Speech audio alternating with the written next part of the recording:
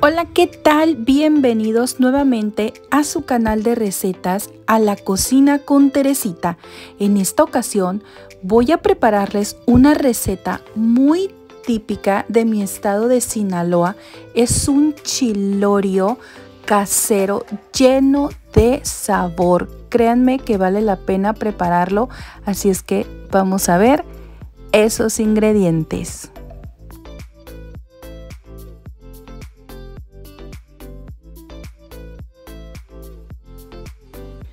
Yo voy a hacer la cantidad de medio kilo de carne de puerco, esta puede ser pierna o fajita, un cuarto de cebolla, dos dientes de ajo, 10 pimientas entera negra y una cucharada de sal. En una olla a fuego medio tengo 2 litros de agua ya caliente y puse la carne con los demás ingredientes voy a taparla y vamos a dejarlo aproximadamente una hora o hora y media. Pasado ese tiempo, vamos a checar la carne. Con la ayuda de un tenedor vamos a tocarla y pincharla para ver si ya está. Aquí yo ya la siento blandita y veo que ya se deshebra fácilmente. La voy a apagar y voy a reservar el caldo. Aquí ya la dejé en fría a temperatura ambiente y la deshebré.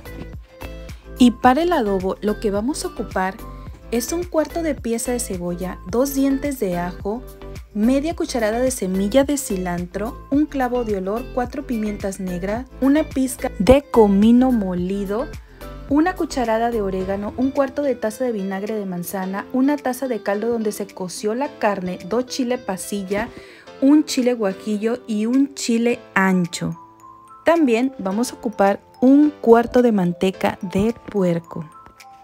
Y pues esta es la clave de el adobo para que sepa bien sabroso el chilorio, que tenga todos estos condimentos con las medidas y con mucho cuidado sin que se nos pase ni de más ni de menos.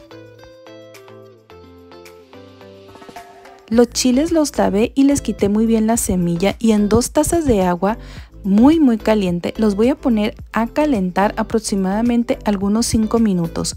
Pasado el tiempo en la licuadora voy a agregar los chiles, el cuarto de pieza de cebolla, los dos ajos, la cucharada de orégano, la pizca de comino molido,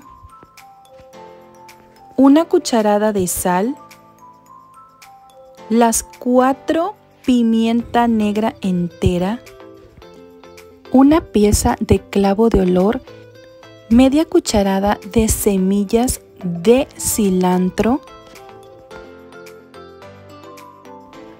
un cuarto de taza de vinagre de manzana,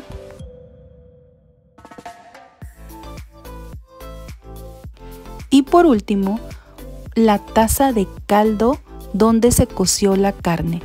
Esto lo vamos a licuar muy bien por aproximadamente dos minutos.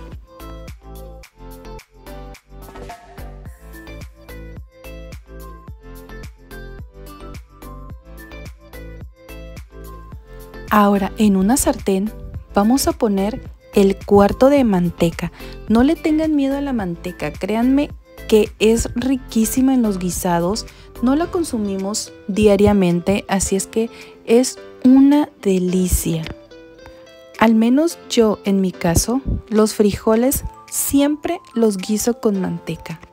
Muy bien, pues ya caliente el sartén y la manteca vamos a poner la carne deshebrada de puerco y la vamos a sofreír muy bien.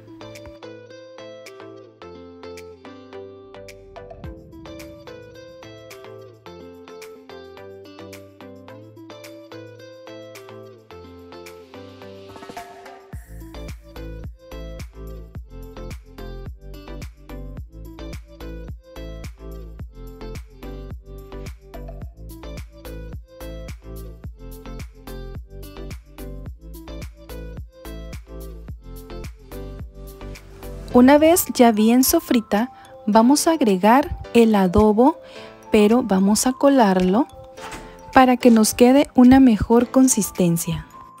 Les comento que esta receta es originaria de Sinaloa. Para ser más específica, en particular es en Mocorito, poblado que se ha encargado de promocionar y dar fama a este suculento alimento.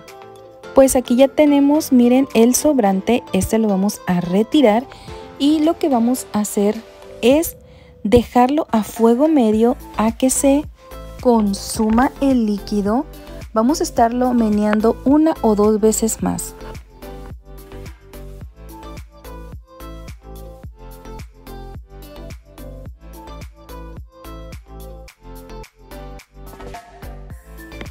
Aquí ya se está consumiendo el jugo y no dejamos de menear. Vamos a sazonar con un poquito más de sal si le hace falta. Esto es totalmente al gusto. Voy a menear y si se fijan ya se está consumiendo. Este es el punto. De medio kilo esto es lo que nos salió. Yo agarré un poco, lo doré aparte en una pequeña sartén con cebolla en juliana. Aquí voy a hacer unas tortillas calientitas porque quiero disfrutar este sabroso chilorio estilo Sinaloa con unas tortillas recién hechas.